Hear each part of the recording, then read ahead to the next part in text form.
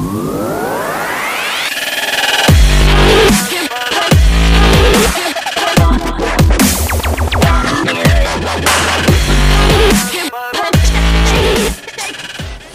what's up guys? I'm Skip and you're watching High Volts RC. Today's episode I'm going to be doing my version of a waterproofing video. I know there's lots of them out there on YouTube, lots of great uh, and different ways to do different waterproofing and that's where I've learned most of my tips and techniques that I use to waterproof my RCs came from other YouTube videos. So it's actually, I've actually had quite a quite a popular request, or it's been requested quite a bit that I make uh, a, uh, a YouTube video. Yes, I'm going to make YouTube videos now. A waterproofing video and let you guys know what you need to do. So this video is going to tell you what you need to do and coming uh, coming soon following this video will be all the how-to videos on each individual step on each part that what you need to do to get that part ready for the mud. So we're going to go down a list here of, uh, we have two categories. First is the electrical parts and second is the chassis parts. I'm going to try to go through this quick guys and at the end I'm going to explain what to do with each one of these parts but I want to know, I want to let you know what, what we're going to be looking at first of all. First of all you have your ESC. This is of course what runs your motor in your RC car and um, it takes the power from your battery, sends it to the motor, and, and, and makes all the magical happens. the magical happen. So that's what you need that for. You also have your your radio receiver. This is what talks, or this is what your controller that you hold on to talks to, and tells the car when to go and when to turn and everything like that. You also have your steering servo. This is what turns your front tires and makes your vehicle be able to turn as well as we have a motor, which I don't have one in front of me, but we're going to talk about the motor a little bit um, in, a, in a minute here as well. Now, uh, to go along with the radio gear, you actually have a couple, um, sometimes they'll come with uh, a box that the radio gear lives in. Some of these boxes were, are not waterproof and some of them are. This is the box out of my HPI Wheely King, and it came with a fully waterproof radio gear box and the radio that came in it uh, was not waterproof. So it came with this little housing that made the truck waterproof in theory from, from the factory. It came with a, a lid that had a gasket on the top as well as a little gasket uh, covering on the bottom that sealed the, the wires in there pretty well. So you have to kind of look at which uh, car you got and, and see some of them that uh, do not have a waterproof steering box. You can actually seal it up with, um, with the gasket sealer I'm going to show you here in a second. This is what I use the waterproof stuff with. And you can actually turn a non-waterproof box into a waterproof box if you feel more comfortable with maybe doing that instead of taking your receiver apart and waterproofing it. At any rate, we now have the chassis parts. Now the biggest thing about the chassis part is the wheels and tires. The wheels and tires actually come with holes in the back of them. You can hear the air escaping out of this one. That's the uh, that's the holes in the wheel that actually lets the air come in and out that gives you a softer kind of tire bite. The problem with that is is the water runs in there and once you have a sealed glued on tire and water in it soaking into your foam inserts, your tire becomes very heavy, your your performance uh, um, starts to lack very quickly with those heavy tires on it and that water and mud just sloshing around there and it's going to get worse every time you go into the mud. Um, next thing you have is um, the transmission and the drive axles. Now both the transmission and drive axles of course have drive gears in them and they come equipped with grease on them already. A very good idea is to do with them is to go ahead and break those apart and make sure they have adequate amount of grease in there, not too much. You definitely don't want to pack it and load it up. I'm going to show you guys exactly how to do all these like I said in my upcoming how-to videos. But um, a good good rule of thumb there is just put grease inside, make sure it's all good and happy because water and mud is going to get inside there. But as long as it's got a good amount of grease to, to, to live in there with all that, you're going to be all right. You're gonna, those are pretty commonly changed parts anyways, the gears inside the transmissions and rear ends. So more than likely you're going to be in there anyways. You're going to be changing out parts and re replacing that grease and everything as well. So that's what to do with the transmission and and uh, drive shafts or uh, drive axles. The wheels and tires, what I do is I use a stuff at.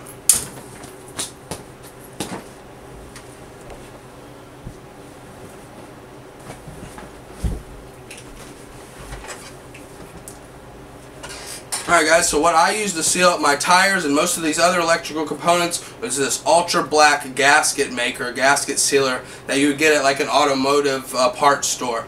There's lots of different stuff that you can use. This stuff right here is definitely uh, permanent. If you coat, um, I'll talk more about this later, but if you like coat your, your receiver board, your computer control board inside this receiver, it's never coming off. That thing has got a solid coating on it and it's not going to come off easy like some other things like for say the plastic dip. You can use it's the stuff that you would dip the handle of the pliers or screwdriver stuff like that in to give it a kind of a rubberized coating. You can use that sort of stuff for this too but it's not as permanent. It does come off. I've just always used this and had great luck with it. So you can kind of do your research and, and uh, decide what you're going to use for for for your purposes now what you do with the tires is the hole on the back of it you're actually just going to take a small glob of this take your finger and wipe it right into that hole. Make sure anytime you use a silicone based uh, gasket sealer or any sort of thing like this, you don't leave any harsh edges on it. You want to smooth it out so it has a smooth transition to the rest of the wheel. That way it won't peel up on you. Once you do that, you let it dry the next day and you got a solid tire. It's not going to do this anymore. It's going to be a little bit more bouncy because it's going to hold that air in it, but no water is going to be able to get inside. You're not going to have to worry about that uh, foam getting soaked in there and all that extra weight pulling around that you don't need in there. So that's pretty much it with the chassis. I want to go ahead and talk about the electrical parts some more. The ESCs, a lot of them come with waterproof ESCs now, and that's great. You don't have to do anything with it. If it does not have a waterproof ESC, what you'll actually end up doing is you'll take this case apart. You'll see inside of this case will be a small electronic circuit board. You'll coat that circuit board with the black gasket sealer on both sides, put it back in the case, squish the case back together. Once it's dried, you have a waterproof ESC now. The same thing goes for the receivers for your radio gear. This little case will pop apart. You fill up, uh, you know, coat the circuit board on both sides. I filled up the case on this one. This is actually one that I did for my Kyosho Rage. There is a video on this that I'll go ahead and leave the link in the description below so you can go ahead and see it now, the process that you actually do for this. I will be doing it again on this truck just to show everybody in my coming up how-to videos. But that's what you do. You just coat the circuit board, smash this thing back together. Once it dries, you got a waterproof receiver. Now, the servo. Servo is pretty much the same way. If you open up the back side of the servo, it has four screws on it. There's a little circuit board inside there. You want to coat that circuit board. I did that as well as I went around the outside of the little case here and where the wire pokes through and I put the put a small amount. You don't want to get it, you don't want to fill up the inside with the with the silicone because it does have some moving parts and stuff in there I believe as well. You only need to coat the circuit board and go around the outside smashing this down, putting the screws back in it and you got a good watertight seal. On the front of the circuit or on the front of the servo this will come out um, this will come apart at the same time that you take the four back screws out. This uh, basically these screws sandwich the whole thing together. When you take these four back screws out, this front plate will pop off. You want to pack grease in here in the gears and the bearings that's in here in the front case. Once you put that back on, all that grease in there will in theory keep out most of the mud and the water and the junk.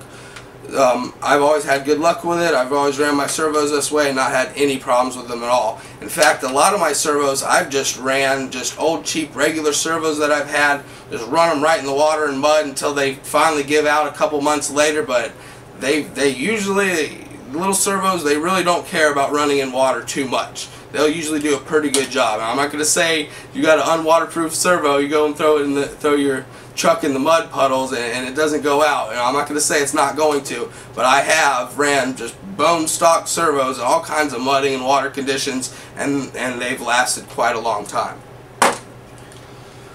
So, and also we have the motor. Now on the motors, you don't really have to do too much.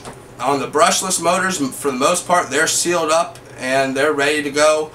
Um, the motors will run fully exposed to water. You could fill that motor up with water, it'll still run no problem. Uh, same thing with the brushed brushed motors, which are more commonly found like in the scalers here.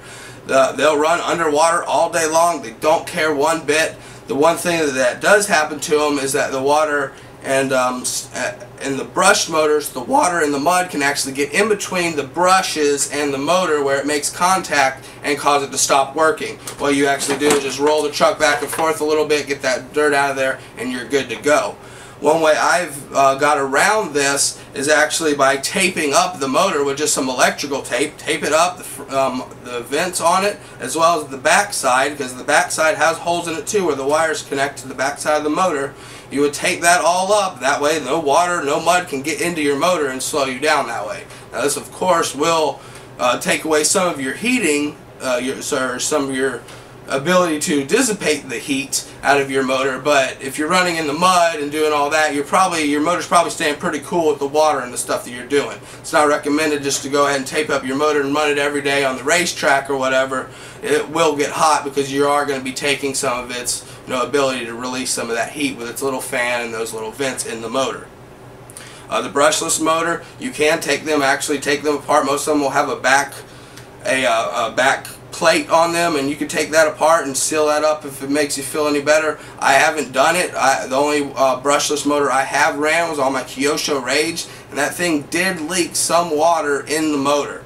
It actually got a little froze up and I had to run it around a little bit and I squirted some oil inside the motor and got it to free up. So that's one thing that I would recommend doing is actually taking your brushless motor apart, seeing where there is any entries that the water could make into your motor and get those sealed up good. Like I said guys, I'm going to be going through every one of these, how to waterproof your servo, how to waterproof your ESC, your radio gear, what to do with your wheels. I'm going to give you an in-depth, detailed video on each one of these steps. Like I said, on the new S SCX10 here, because this thing is bone stock and, and I'm ready to get it into some mud honestly I'm ready to get some mud bogging videos done but I wanted to get this video series done first uh, for you guys as well so if this helped you out in any way, hopefully this lets you know kind of what you need to do for your, your new RC to get it ready for the mud and the water and whatever you want to do with it. Um, hopefully it helped you out. Please go ahead and give us a like down below and uh, get, be on the lookout for the how-to video series coming up next. Alright guys, until next time, we'll see you. Peace.